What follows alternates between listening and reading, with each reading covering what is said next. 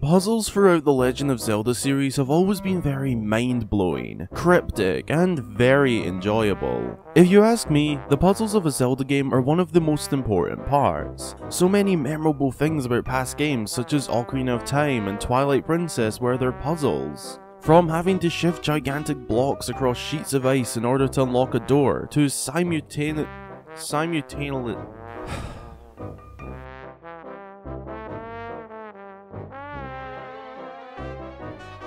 simultaneously controlling two colossal stone guardians in order to proceed to the Master Sword in Twilight Princess, all the way to the often debated water level system within the Water Temple in Ocarina of Time. My point here is that puzzles are a must for Zelda games, and of course, with the most recent release, Breath of the Wild, we got a bunch of new puzzles. But they were a little different to the typical Zelda puzzle, but not in a bad way. I personally really loved all of Breath of the Wild's puzzles, from quick and snappy tasks to acquire a Korok seed, to puzzles that blend in with the elements, to the Divine Beast mechanics used to move and control each beast in order to progress through the dungeon all the way to the gyro puzzles found within the Sheikah shrines. Whilst the puzzles are very different to what we have known from the past, they are still definitely up to the same standard, and I personally believe that the ideas and designs behind Breath of the Wild's puzzles are genius.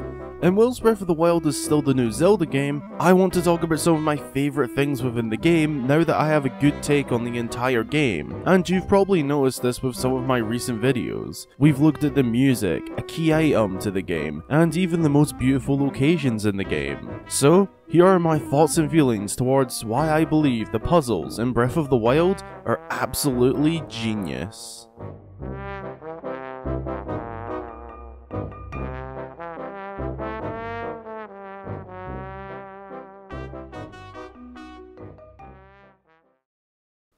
To begin the video off, let's look at all the different kinds of puzzles we are given in Breath of the Wild. Firstly, there are two main groups when it comes to the types of puzzles, the open and outdoors puzzles and the Sheikah Shrine puzzles. Whilst they both share similarities at times, they are two different kinds of puzzles. The open ones having more of a focus on the environment and location, along with being on the more simplistic side, and the shrine puzzles being more enclosed and challenging creatively speaking, with a heavy focus on the Sheikah Slate rune abilities. We will begin by taking a look at the open and free puzzles found out and about during your adventure in Hyrule. These open air puzzles, if you will, are 99% of the time connected to a Korok seed, which actually gives the player a bit of motivation to go and complete them.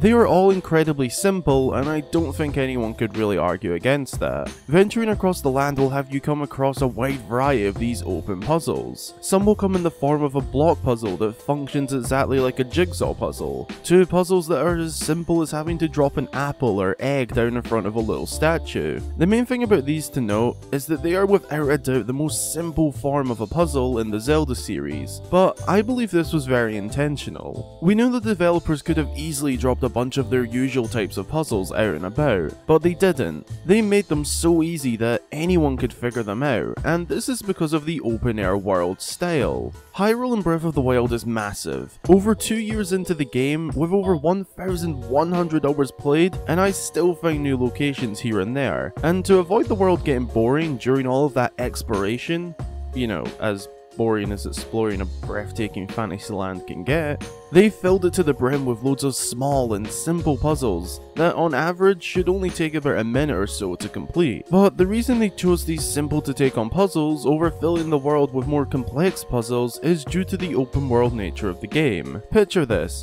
you've just left the Shrine of Resurrection and set foot into the Kingdom of Hyrule. You're wandering around and exploring, then all of a sudden you run into a block slider puzzle, a classic staple puzzle in the Zelda series. It takes you say 10, 15 or even 20 minutes to complete, and you're rewarded with a Korok seed.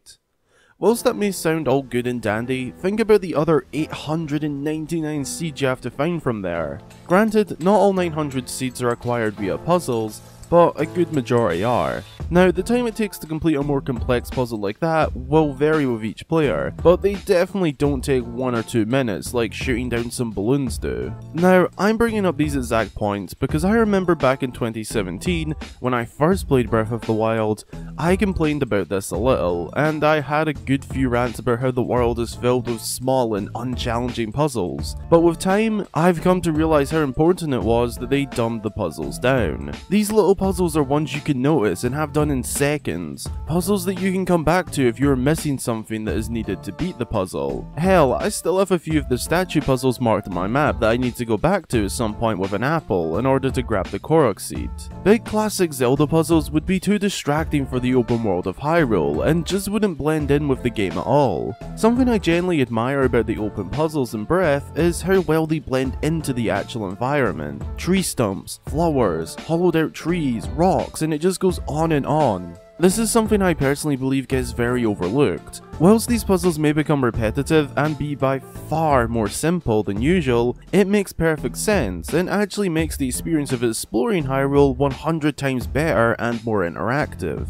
It creates curiosity for one. I can't tell you how many times I was paragliding around and saw a rock pattern from a distance that intrigued me so much that I just had to go over and see what was up. The same applies to seeing the jigsaw block puzzles on a mountainside and all over the land. They encourage you to explore and give you a little something to do whilst exploring. Of course, there is also the puzzles found within the Sheikah Shrines. They took a different approach to the open air puzzles and were closer to what a traditional Zelda puzzle would be, but they do have their own unique factors. These puzzles tend to have a heavy focus on the Sheikah Slate rune abilities, which isn't anything new, as in past games, puzzles did often revolve around a specific key item, some good examples being random statues found across the world in Twilight Princess that required the Dominion Rod to move, an item the player didn't get until later in the game, which actually makes these statues a bit redundant until the Dominion Rod was acquired. Breath of the Wild essentially fixed this, as whenever you come across a shrine, you will already be kitted out with the necessary rune abilities to tackle it. This could be seen as a good or bad thing.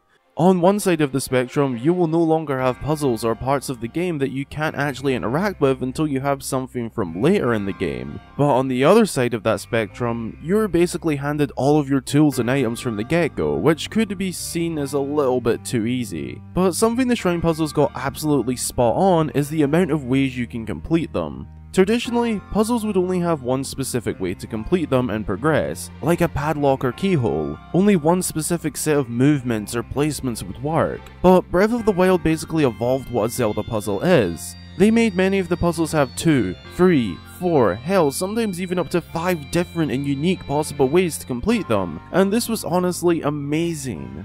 More often than not, there would be an intended way to complete it, or an obvious way, but there was also nearly always at least one other way to beat it. The game encourages creativity, and let's just say players got creative. If you're a fan of glitch videos or mechanic breaking videos related to The Legend of Zelda, then you may have already seen some of what I'm about to show you. Due to the creative opportunities in Breath of the Wild, many players found some insane and wacky ways such as bomb glitches to beat shrines quickly, and you've got to applaud the people who first discovered these methods. But it's not just the glitches and breaking mechanics that deserve some praise, although they do definitely deserve their praise. It's all just creativity in general. Throughout my many playthroughs of Breath of the Wild, I found myself experimenting and trying out unconventional ideas to try and tackle these certain puzzles. I always found myself absolutely amazed when one of my ideas actually worked, because I'm used to only one certain way working. From stacking blocks to make towers to climb, to launching myself in the air to beat gaps. The point is, these shrines offered so many ways to beat them. Basically, as long as you found a way to that monk at the end of the shrine, you beat it. Doesn't matter how. As well as that, I felt like they were generally creatively excellent. The rune abilities were utilised superbly. A good example of this would be the electricity shrines, my favourite being the Daqo Chisay shrine. It was great fun, and I bet all the science nerds out there loved this one too. You had to connect up electric currents with different conductors provided to you. It was so cool. All in all, the Sheikah Shrine's puzzles were superb, and the amount of creativity that they encourage just has to be admired in my opinion. That's my thoughts towards the puzzles individually, but something else I wanted to briefly cover is just how well the puzzles fit in and blend into the world. The open ones use the environment to their advantage, the shrine puzzles use the Sheikah technology to their advantage, the environment of the shrines. To sort of conclude the video, I loved and adored how well the puzzles were done in Breath of the Wild. They were not always complex and intricate puzzles, rather they were simple but yet creative. They offer and encourage a creative mind, and I really admire that work from the developers.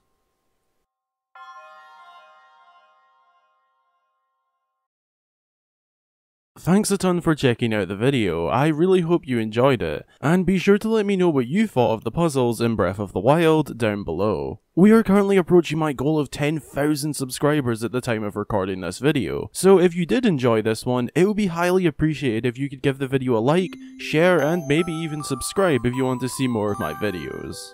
A huge thank you goes out to all of my wonderful and amazing Patreon supporters, as your support really helps me to keep making these videos as often as possible. So special thanks to Hexovian, Leonarco1, Tala, Karika, Saphira Sky, Daniel Kilman, Love13, Parky Doggo, Arlie Quinn, M, Chris Simpson, Andrew, and Brett Harris. Your support is extremely helpful and very much appreciated.